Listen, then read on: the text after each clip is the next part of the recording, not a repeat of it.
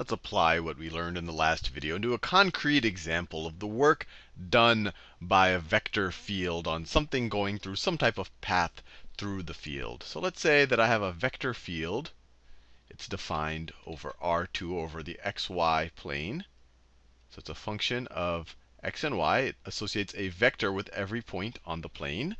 And let's say my vector field is y times the unit vector i. Let's say minus minus x times the unit vector j. And so you can imagine if we were to draw, let's draw our x and y axes. I'll do it over here. If we were to draw our x and y axes, this associates this associates a vector, a force vector. Let's say this is actually a force vector with every point, with every point in our xy plane. So this is x and this is y. So if we're at the point, for example, 1, 0, what will the vector look like that's associated with that point? Well, at 1, 0, y is 0. So this will be 0i minus 1j. Minus 1j looks like this. So minus 1j minus 1j will look like that. At x is equal to 2, I'm just picking points at random, ones that'll be easy. y is still 0, and now the force vector here would be minus 2j. So it would look something like this.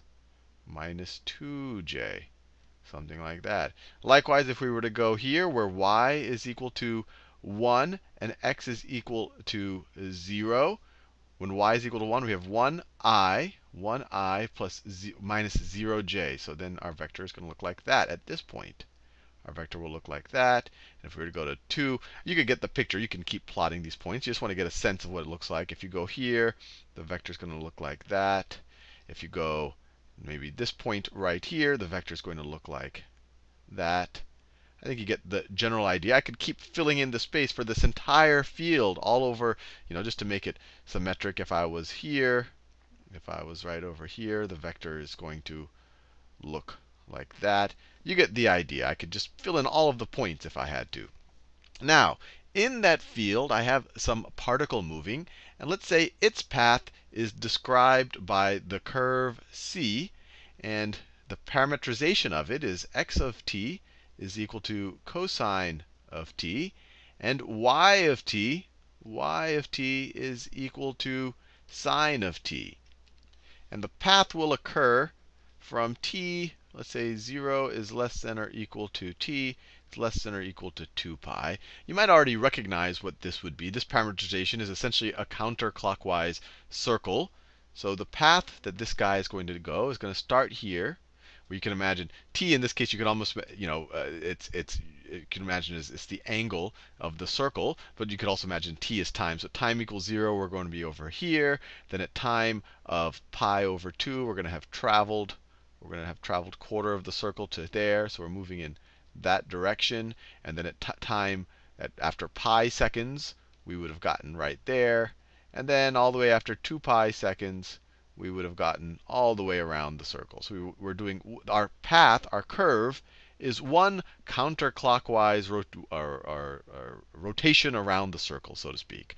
So what is the work done by this field on this curve? So the work done, so the work we learned in the previous video is equal to the line integral over this contour, over this contour of our field of our vector field dotted with dotted with the differential of our movement. So dotted with the differential of our movement, dr. Well, I haven't even defined r yet. I mean, I kind of have just the parametrization here. So we need to have a vector function. We need to have some r that defines this path. This is just a standard parametrization. But if I wanted to write it as a vector function of t, we would write that r of t is equal to x of t, which is cosine of t, times i, plus y of t times j, which is just sine of t, sine of t times j. And likewise, this is for 0 is less than or equal to t, which is less than or equal to 2 pi. This and this are equivalent. The reason why I took the pain of doing this is so now I can take its, its vector function derivative and I can figure out its differential. And then I can actually take the dot product with this thing over here. So let's do all of that and actually calculate this line integral and figure out the work done by this field. And one thing might already pop at your mind. We're going in a counterclockwise direction, but at every point, where we're passing through, it looks like the field is going exactly opposite the direction of our motion. For example, here we're moving upwards, the field is pulling us backwards. Here we're moving to the top left, the field is moving us to the bottom right. Here we're moving exactly to the left, the field is pulling us to the right. So it looks like the field is always doing the exact opposite of what we're trying to do. It's, it's hindering our ability to move. So I'll, I'll give you a little intuition. This will probably deal with negative work. For example, if I lift something off the ground, I have to apply force to fight gravity. I'm doing positive work, but gravity is doing negative work on that. But we're just going to do the math here just to make you comfortable with this idea. But it's interesting to think about what's exactly going here. Even here, the field is, let me, the field I'm doing in that pink color, so let me stick to that. The field is pushing in that direction. So it's always going opposite the motion. But let's just do the math to make everything in the last video a little bit more concrete. So a good place to start is the derivative of our, of our position vector function with respect to t. So me switch. So we have dr dt, which we could also write as r prime of t. This is equal to the derivative of x of t with respect to t, which is minus sine of t times i, plus the derivative of y of t with respect to t. That's derivative of sine of t is just cosine of t, cosine of t times j. And if we want the differential, we just multiply everything times dt.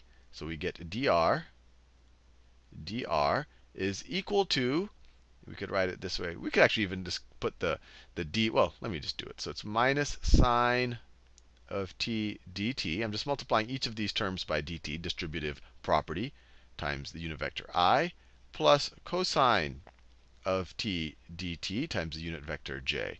So we have this piece now. And then we want to take the dot product with this over here. But let me rewrite our vector, our vector field in terms of in terms of in terms of t, so to speak.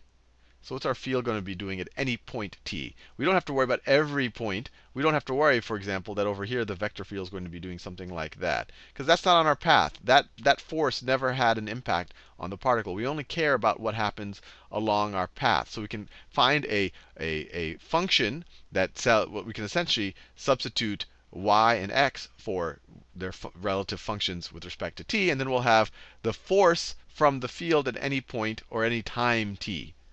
So let's do that. So this guy right here, if I were to write it as a function of t, this is going to be equal to y of t, right? y is a function of t. So it's sine of t, sine of t, right? That's that. Sine of t times i, times i, plus, or actually minus, minus x, or x of t. x is a function of t. So minus cosine of t, minus cosine of t times j. And now all of it seems a little bit more straightforward. If we want to find this line integral, this line integral is going to be the same thing as the integral. Let me pick a nice soothing color. Maybe this is a nice one. The integral from t is equal to 0 to t is equal to 2 pi of f dot dr, of f dot dr. Now, when you take the dot product, you just take you just multiply the corresponding components and add it up. So we take the product of the minus sign and the sine of t, or the sine of t with the minus sine of t dt, I get, you're going to get minus sine squared t dt. And then you're going to add that to, so you're going to have that plus, let me write that dt a little bit. That was a wacky looking dt. dt. And then you're going to have that plus these two guys multiplied by each other. So that's, well, there's a minus sign here. So plus, let me just change this to a minus, minus cosine squared, cosine squared dt. And if we factor out a minus sign and a dt, what is this going to be equal to? This is going to be equal to the integral from 0 to 2 pi of, we could say, sine squared plus, I want to put the t there, sine squared of t plus cosine squared of t. And actually, let me take the minus sign out to the front. So if we just factor the minus sign, so we put a minus there, make this a plus, make this a plus. So the minus sign out there, and we factor a dt out. I did a couple of steps in there, but I think you got it. You know, this is just algebra at this point. Factoring out a minus sign, so this becomes positive, and then you have a dt and a dt. Factor that out, and you get this. You could multiply this out, and you'll get what we originally have, if that confuses you at all. And the reason why I did that, we know what sine squared of anything plus cosine squared of that same anything is. That's the that falls right out of the unit circle definition of our trig function. So this is just 1. So our whole integral has been reduced to the minus integral from 0 to 2 pi of dt of dt. And this is, we, we've seen this before. We can say this is of, of, of 1 if you want to put something there. to. Uh, then the antiderivative of 1 is just, so this is just going to be equal to minus, and that minus sign is just the same minus sign that we're carrying forward. The antiderivative of 1 is just t, and we're going to evaluate it from 2 pi to 0, or from 0 to 2 pi. So this is equal to minus, that minus sign right there, 2 pi, 2 pi minus t at 0, so minus 0. So this is just equal to minus 2 pi. And there you have it. We figured out the work that this field that this field did on the particle or whatever, as the whatever thing was moving around in this counterclockwise fashion. And our intuition held up. We actually got a negative number for the work done. And that's because at all times the field was actually going exactly opposite, or was actually opposing the movement of, if we think of it as a particle in its counterclockwise direction. Anyway, hopefully you found that